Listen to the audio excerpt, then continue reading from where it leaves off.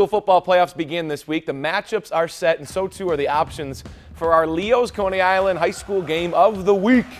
Lapeer and Clarkston, Lake Orion Romeo, a big rematch between Dakota and Chippewa Valley. Undefeated Bloomfield Hills hosting West Bloomfield, and Brother Rice visiting Warren Cousino. Well, I know who you're rooting for. Anybody's vote counts just as much as the other. Voting is open until Wednesday at midnight, and we'll be live Friday night